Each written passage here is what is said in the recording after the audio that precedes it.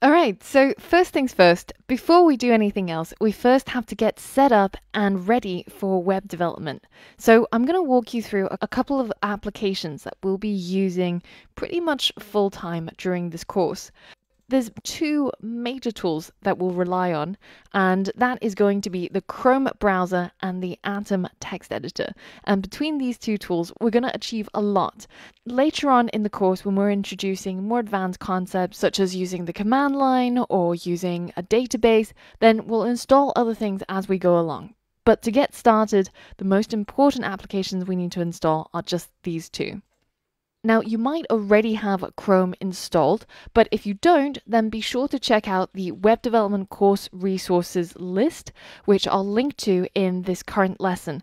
And it's really, really important that you check over here because every single time I mention a link or every single time I try to point you towards something, the links will show up over here and you'll be able to click on it to save you all the trouble of having to type it all out open up this page in your browser and just click on this link to go ahead and download and install Chrome.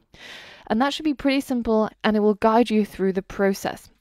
Now, if you're wondering, do I have to use Chrome? What if I already have Firefox installed? Or what if I want to use Safari?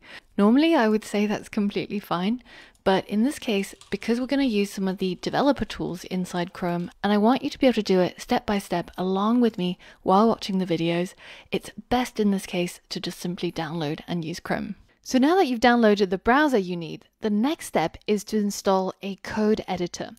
And out there, there are so many different code editors. For example, Atom or VS Code, Sublime, Brackets, and if you think about it, all that you need to actually write code is just some form of text editor. So you could, if you really wanted to, even use something like Notepad.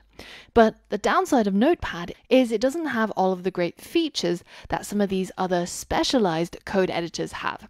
So, two of my favorite are Atom and VS Code, and I use both of them pretty regularly. Now, in the course videos, you'll see me use Atom, but if you have a strong preference towards any other code editor that you're already used to that you want to use instead, then feel free to do that. But if you are a complete beginner to programming, then I recommend we go ahead and install the Atom text editor.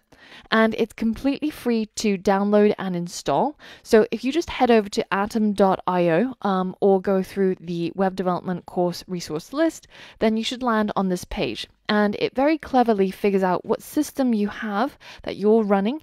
Now, if you're a Windows user and you head over to atom.io, you'll see that it'll automatically detect that you are viewing this on a Windows computer, and then you can just go ahead and again click that big yellow download button. And you should end up with something that's called something like atom setup.exe. And you'll be able to see this in your downloads folder. So now, if you just double click on that, and it will automatically do everything it needs to install Atom on your system. So once you're done, it should open up a new Atom window like so, and you would have successfully installed Atom.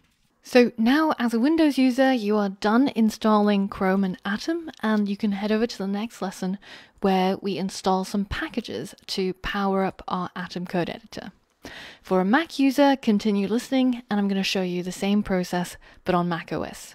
So all you have to do is just go ahead and click download.